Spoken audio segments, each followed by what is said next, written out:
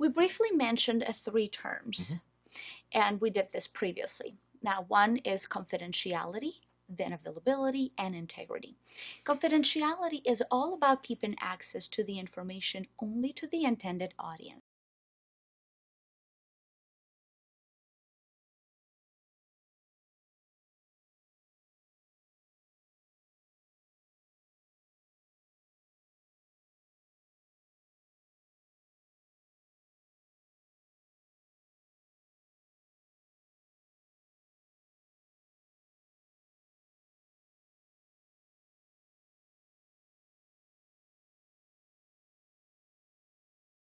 Confidentiality does two things.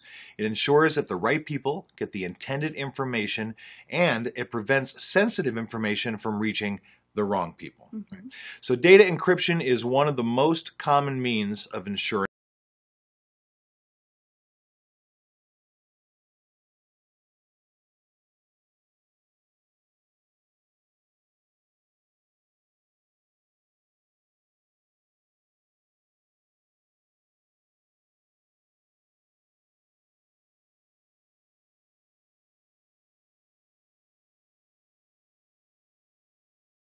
these days, you know, mm-hmm. people scanning their eyes, putting Yeah. their fingers to things.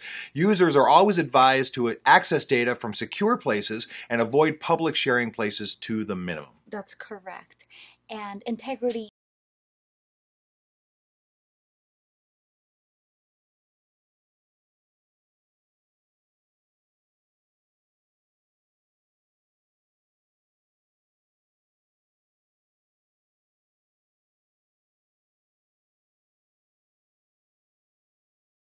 necess- necessary steps put in place. Now, we must establish procedures to identify any changes to data unintentionally. The data could be changed without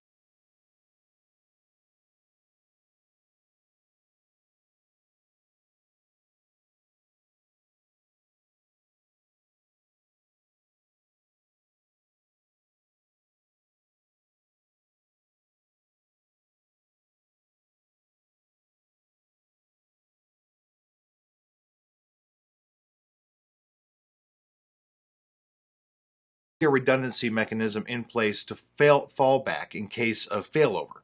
Now this includes providing additional hardware, network bandwidth, facility, power backup, and of course taking measures to ensure a smooth transition to a failover site and back once the original site is restored. Correct. Now, we just talked about the CIA triad. Let me take you back to hacking and timeline.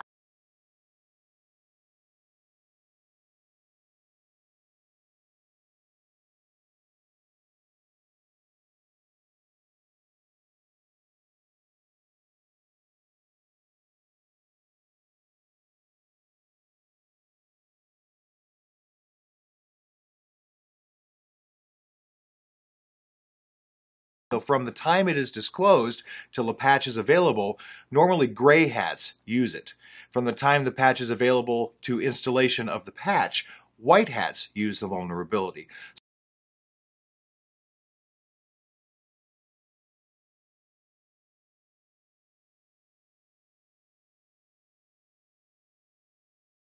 First. Okay, let's do that. Ethical hackers fall into the white hats category. They get permission from the data owner before any hacking and use their hacking skills for defensive purposes only. Right. They use their knowledge and skills to locate weaknesses and implement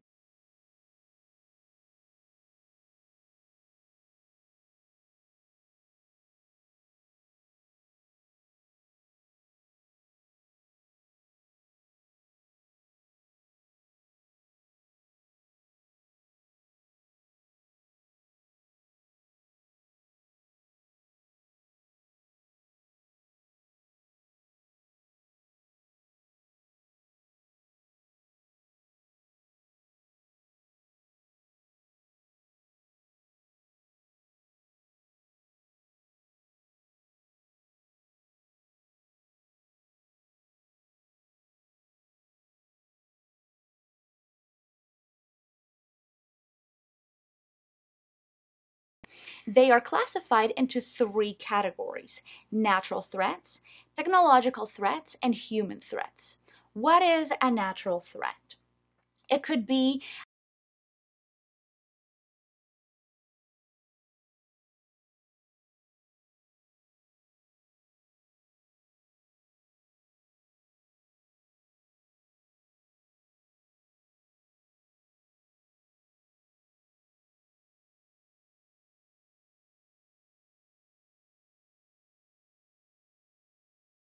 exploits or web attacks. We introduced zero day attacks a moment ago and exploits to you, uh, but what is malware? Here it is. Any type of program that is created with the intent to cause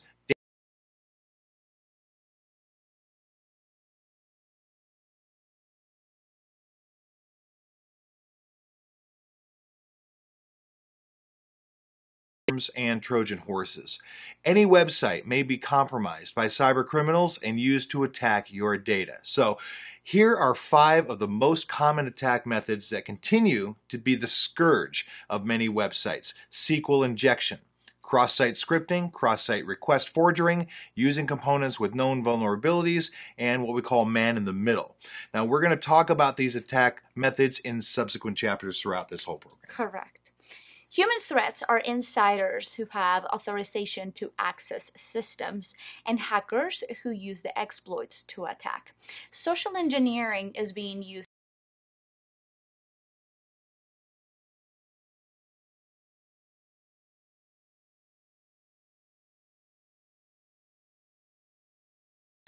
password, PIN, and any other information. I mean, the list of threats go on. And let's move on.